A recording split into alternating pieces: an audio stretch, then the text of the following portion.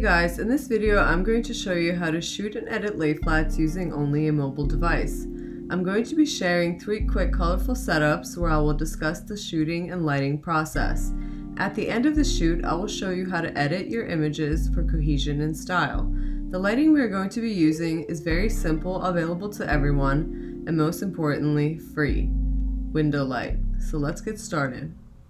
To shoot the lay flats, I placed my surface directly under the window as you can see by the shadows in the scene. I played around with placement of the objects and once I got them to a spot I thought was good, I snapped a few images.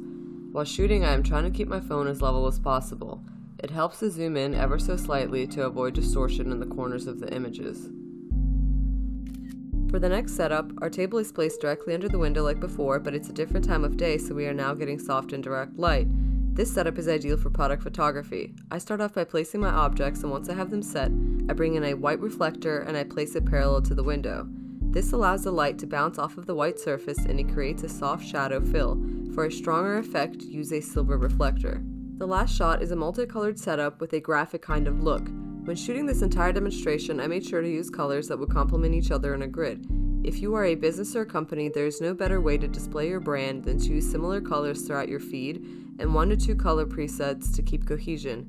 People will recognize your brand and be drawn to it because of the style and identity.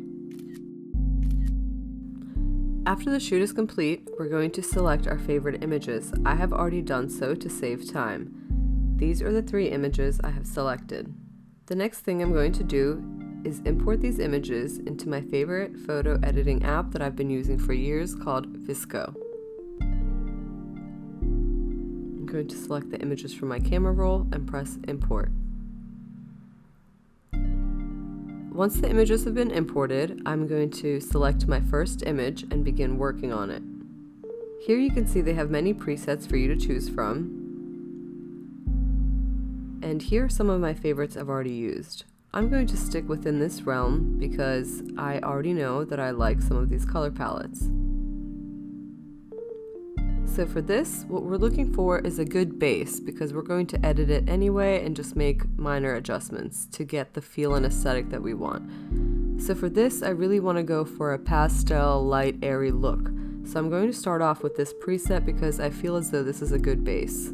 And if you tap down on the screen, you'll be able to see the before, and if you lift your finger off, you can see the after. Next thing I want to do is click down here so I can fully edit this image. So the first thing we're going to do is lift the exposure.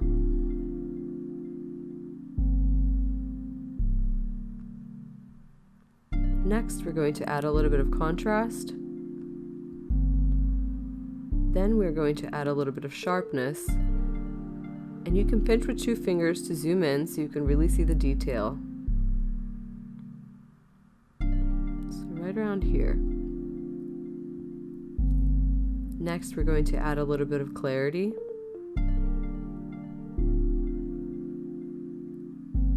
We're going to click on tone because I want to lift the shadows. But not too much because as you can see when I lift the shadows too much this area right here doesn't look as good. So we're only going to do a little bit.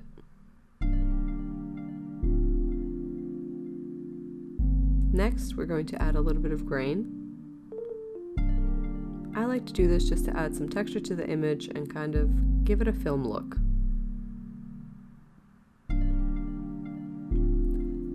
Once we have completed the edit, you can tap and hold to see the before and after. And if you're happy with this, which I am, we're going to click next. We're going to save this as a draft. And now that we've completed our first edit, we're going to select that image once again, and we're going to click on the three dots at the bottom right of the screen where it says more, and we're going to copy edits. Now we're going to deselect the original image and we're going to select the images that we want to apply that color treatment to. We're going to click down on more in the bottom right again and this time we're going to select paste edits. Once we have our edits pasted, you can see the three images together as a whole. So our goal here is to make them look unified and to make them have all the same color, tone, feel, So the image I'm going to adjust now is the middle one with the perfume and the necklace. I'm going to tap just to show you the before, and this is the after. So the first thing I'm going to do is crop this image and straighten it out.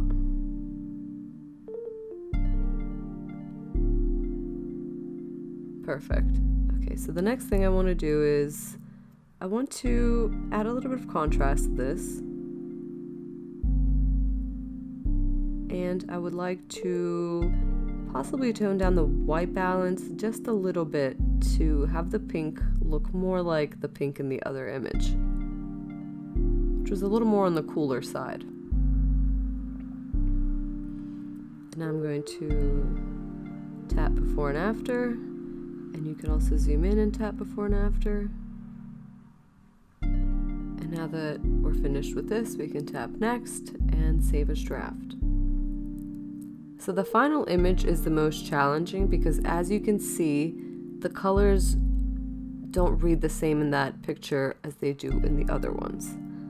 So for this one, I'm actually going to not use this color preset, but maybe another one that I feel as would be a better base for this image. So I'm going to scroll down first through my favorites and see if I have anything that I think would work. I didn't see anything there, so I'm going to go to all the presets.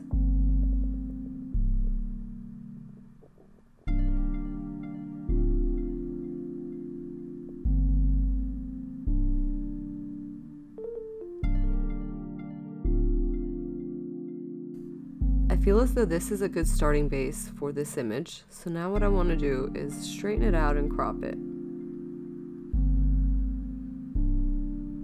We want to click our ratio 3 by 4 so it locks in and does not change.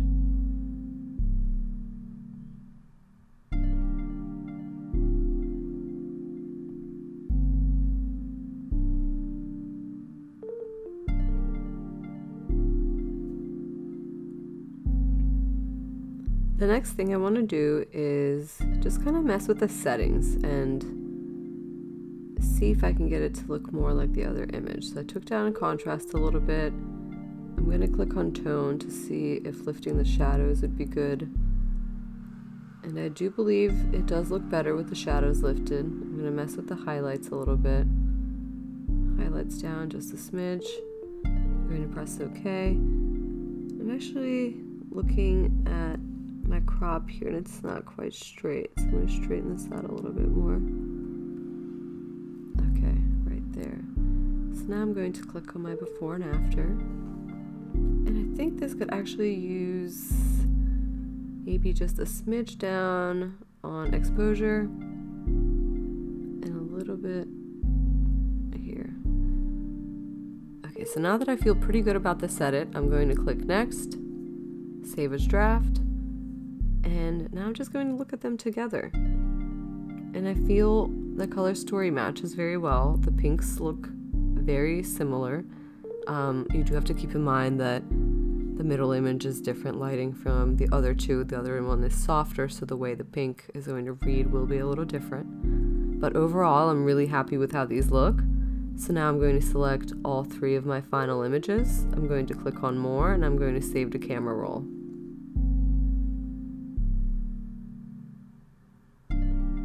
And boom, we're finished. So these are now in our camera roll.